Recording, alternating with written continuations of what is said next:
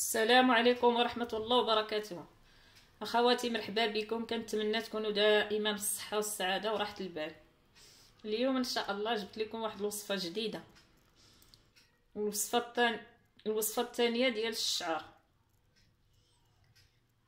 منو الدواء ومنو الصباغة ديال الشعر.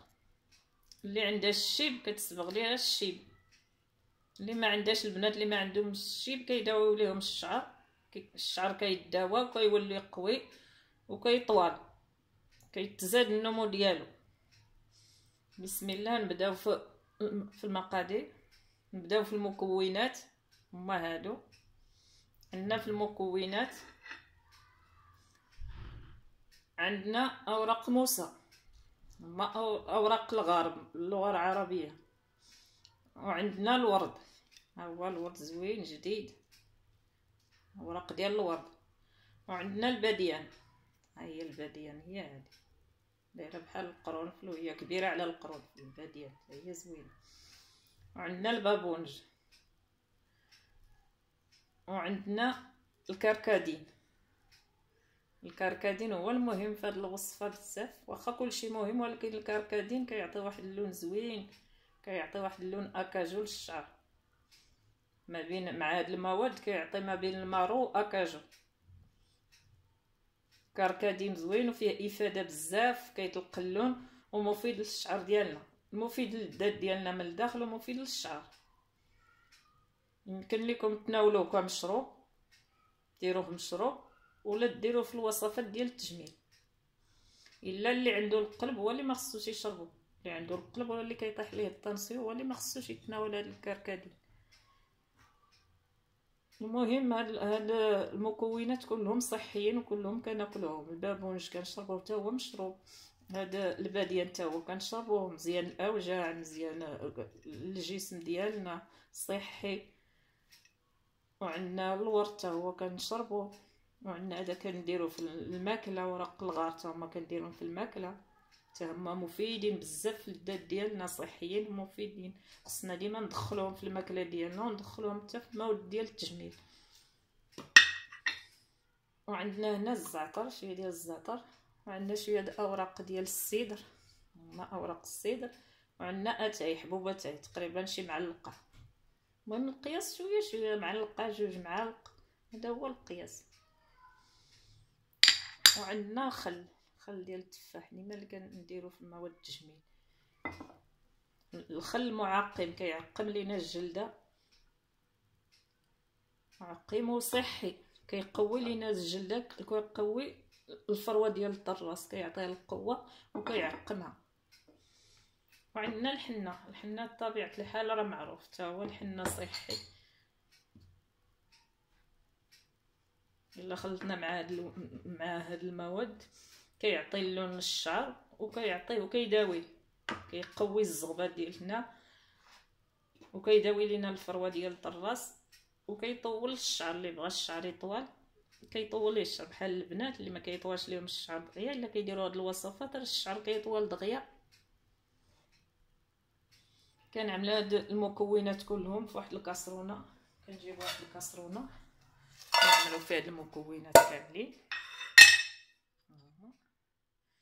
نعملهم كلهم في واحد الكاسرونة. إلا الخل والحنة هو الخل كيبقى هو الأخر والحنة حتى هو حتى كنديروا عليه كنعملوه في كاسرونه كنديروا عليه تقريبا كنعملوا عليه تقريبا واحد ثلاثة الكيسان ديال الماء. هاد الشكل ثلاثة الكيسان من هاد النوع ديال الماء. غادي نمشي نضبطو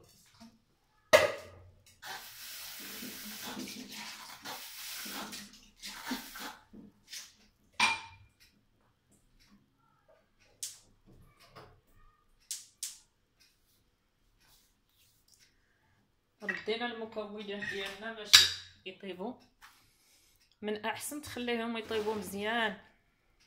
طيبهم مزيان باش يطلقوا مع بعضياتهم.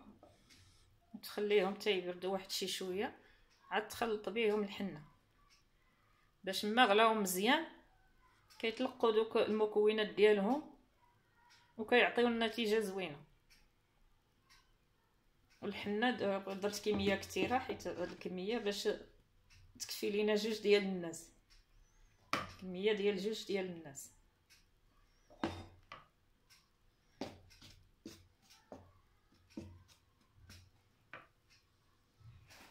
وهذا ما فيه لا ضرر لا والو. كلشي هاد المواد اللي فيه صحيين.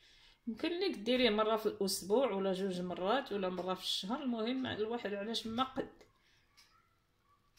المهم فيه غير المنفعة ما فيه حتى شي حاجة اللي فيها الضرر. كلشي المواد الوصفة الطبيعية مية في المية.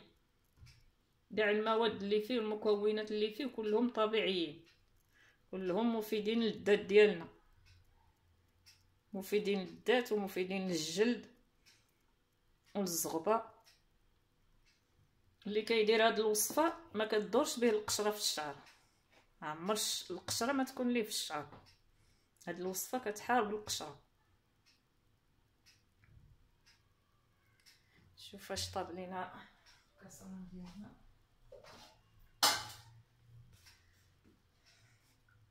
بسم الله. الكاسرونة ديال الطاطا.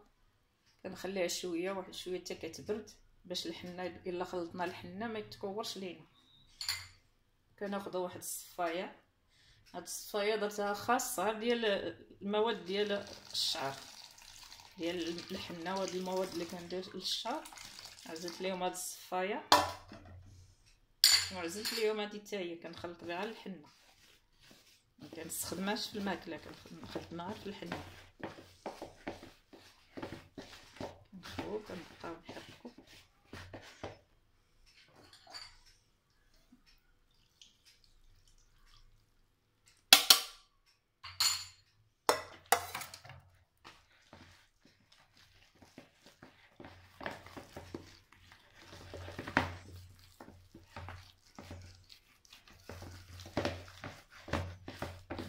مزيان باش ينسجموا لينا المكونات ينسجموا مع الحنه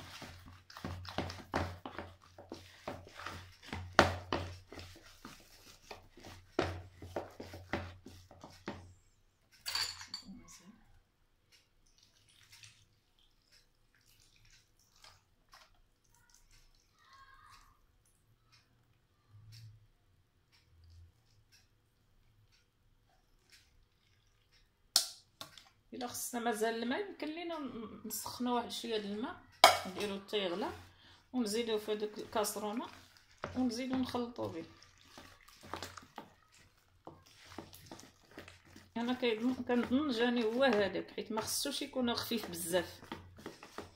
خصو يجي الوصفه تجي شوية متمسكة ما تبداش ما تبداش تنزل لينا إلا درنا في الشعر ما تبداش تنزل لينا. تبقى شادة لينا في الشعر. هي كتجي شوية متماسكه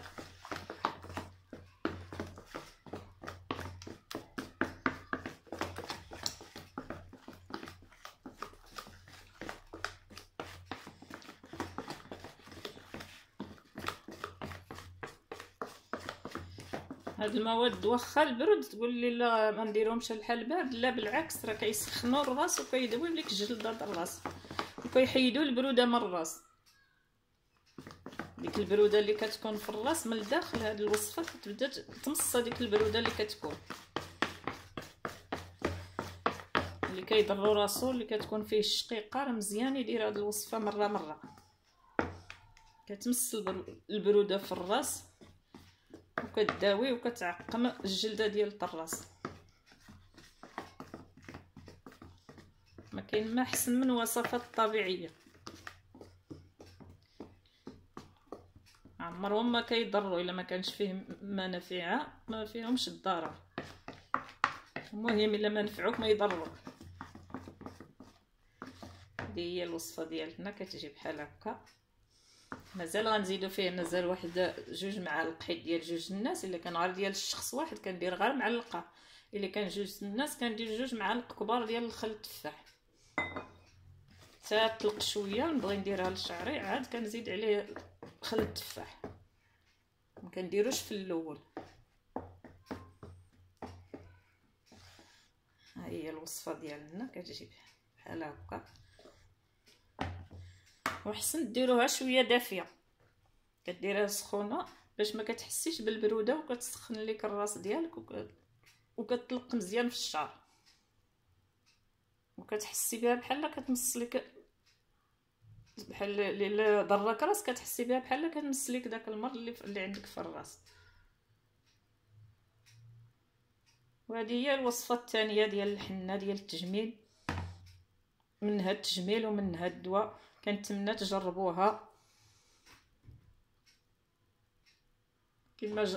كما كنديرها أنا وكتعطيني النتيجة كنتمنى تجربوها حتى نتوما وتردوا عليا الخبر في آه، التعليقات صيفطوا لي التعليقات إلا صوبتوها. وعجبتكم صيفطوا لي التعليقات وشاركوا معايا في القناة ديالي اللي باقي ما شاركتش في القناة. كنتمنى تشارك وتبارطاجي مع صحاباتها باش تعم الفائدة للجميع. هذا الشيء فيه غير أجر. إلا نشرتيه وعنتي به الناس حيت فيه إفادة وفيه أجر. أي واحد ورا شي وصفة اللي كتنفع الناس راه عنده أجر كبير. وكنتمنى الأجر ليا وليكم ولجميع المسلمين. وإلى اللقاء إلى الفيديو القادم. والسلام عليكم ورحمة الله وبركاته.